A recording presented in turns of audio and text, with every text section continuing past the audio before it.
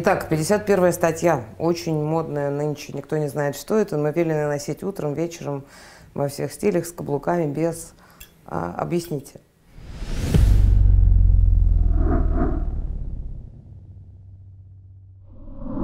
Мне она профессионально не нравится, ее применение мне не нравится. Но надо понимать, что 51 статья э, стоп-кран э, поезда, который летит на всех парах.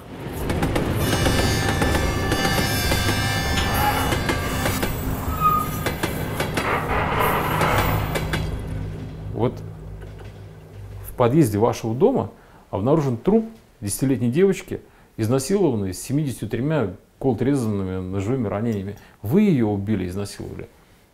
Что вы мне ответите? Я отказываюсь давать показания против себя? Именно так звучит 51 Отказ давать показания против себя. 51 статья это для любого прокурора, для любого судьи это латентное признание человека в том, что он совершил, но просто не хочет давать показания против себя. Но гораздо более эффективно не отказываться от дачи показаний, а заявить о том, что вы желаете давать показания, но только в присутствии защитника Иванова Ивана Ивановича. Это не отказ от дачи показания, и это не освободит следствие или там, не знаю, инспектор по административной практике от обязанности получить ваши показания. А 51, а 51 статья освободит.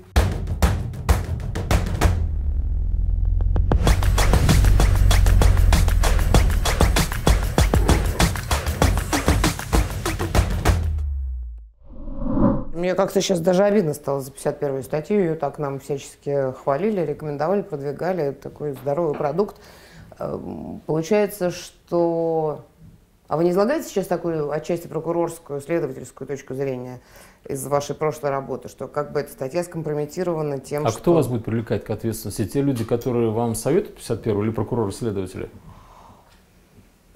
Вот те, которые не прокуроры и следователи. Ну и что вам, чья оценка вам ценнее в этой ситуации а... тогда? То есть вы мне уже предлагаете прямо встать на точку зрения прокуроров и следователей? В данном случае вам нужно э, оценивать то, кто против вас, насколько он технически оснащен и как он среагирует на ваши какие-то определенные действия в этом поединке. Если он понимает, что вы заявите статью 51, то. он дальше с вами работать прекращает, дело направляет дальше, и звонок везде прошел, что у него 51 он отказался давать показания против себя. Он не попросил дать ему возможность дать показания с адвокатом. Он не сказал, что он просто отказывается от дачи показаний, поскольку здесь преследование его заведомо необоснованное. Человек просто имеет право отказаться от дачи показаний. Зачем тебе 51 вот зачем тебе 51 Ты сидишь напротив следователя, ты подозреваемый. Зачем тебе 51 С момента, когда тебя задержали, с момента, когда в отношении тебя возбудили уголовное дело или административное, э, или дело об административном правонарушении, ты имеешь, имеешь право давать показания. Имеешь право. Это свидетели потерпевшие обязаны давать показания. Смотри, имеешь право не давать показания. Имеешь право давать, значит, имеешь право не давать.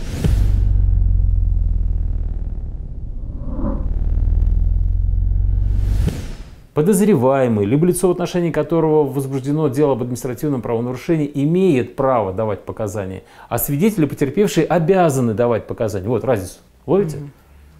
Поэтому зачем тебе 51 если ты не свидетель, не потерпевший? Если у тебя провели обыск, если тебя доставили в ОВД, если в отношении тебя провели какие-то принудительные меры, ты с этого момента уже фактически подозреваемый.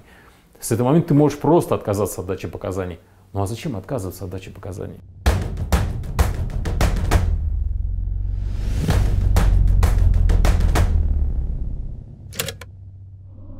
Что вы хотите сказать, что для человека, который пользуется 51 статьей на самом деле нет никаких преимуществ в использовании ее? Преимуществ по сравнению с фразой, что я желаю дать показания с адвокатом? Нет, конечно, нет. Один негатив. Человек отказался дать показания против себя. Какие преимущества-то?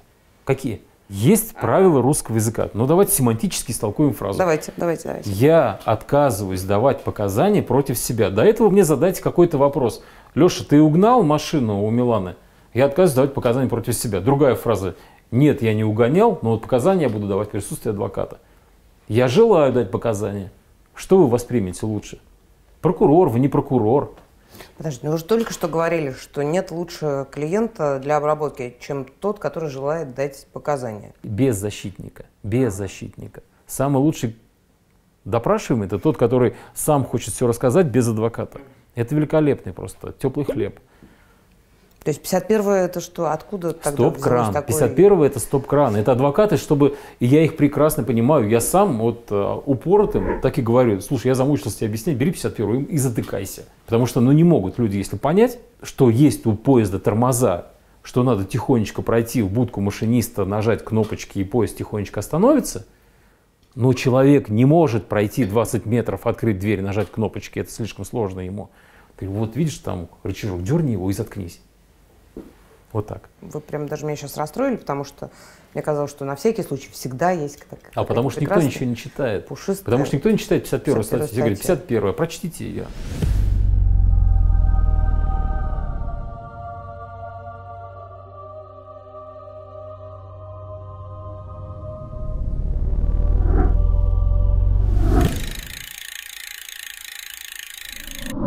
Я ее читала, не могу сказать, что э, глубоко отпечаталось запечатлелось в моем мозгу ее содержание, но просто что я, его можно а, конституционно когда, молчать. Я когда э, сам допрашивал, люди отказывались по 51 всегда задавал второй вопрос. Понятен ли вам смысл статьи 51 Конституции Российской Федерации, которая предусматривает ваше право не давать показания против себя и своих близких родственников?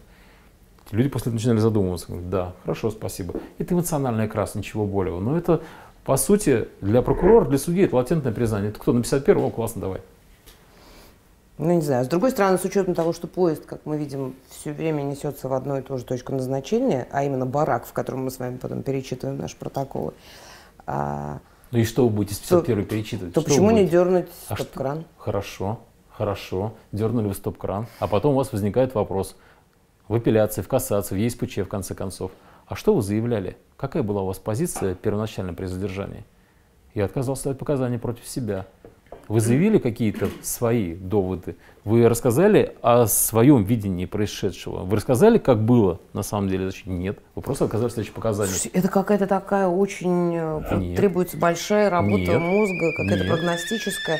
Послушайте, Посмотрите, я, я очень, очень короткий тогда приведу да. Э, образ. Ну, какой-то понятный. Вот, вот ринг боксерский, понятный. да? Да, это понятно. Вот боксерский ринг. У вас на той стороне следователь опер, неважно, государство.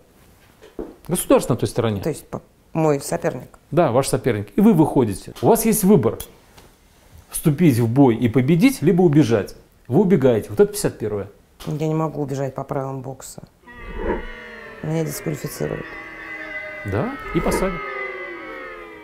То есть ты убежал, по правилам ты можешь убежать. Просто твое убегание, выброс полотенца – это проигрыш боя. Кто тебе запрещает выпрыгнуть с ринга? Мы так говорим, как если бы бой этот можно было выиграть. Конечно, можно. А сколько вы знаете, извините, успешных апелляций? Много. Масса примеров, когда добиваемся – признание жалоб обоснованными. А как вы жалобу признаете обоснованную, если вы никаких доводов не заявляли, ходатайств не заявляли, вообще сидели на 51-й? Что вы заявите в ЕСПЧ? Это можно в начале, вот в самом начале, когда тебя притащили, бросили за стенки, сказать, я, я отказываюсь от дачи показаний. Почему? Ну, ну 51-й, ну ладно. Экстренная мера, стоп-кран, не более того.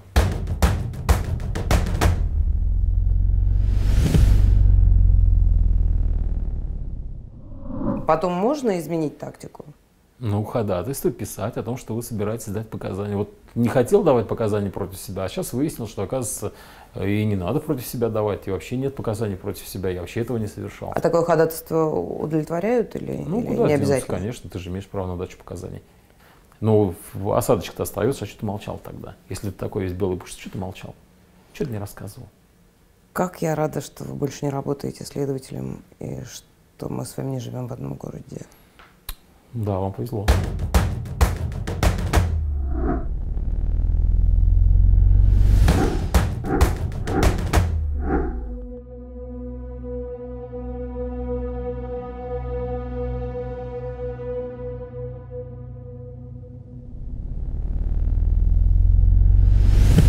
51-ю разоблачили модную тему, но вот есть такая модная, опять же, тема плохом, правда, смысле.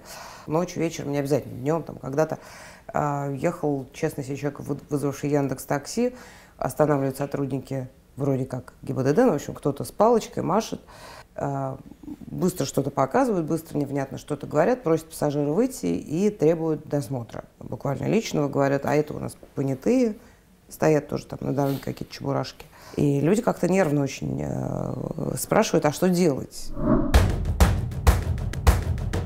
Широко известно, что у нас подбрасывают.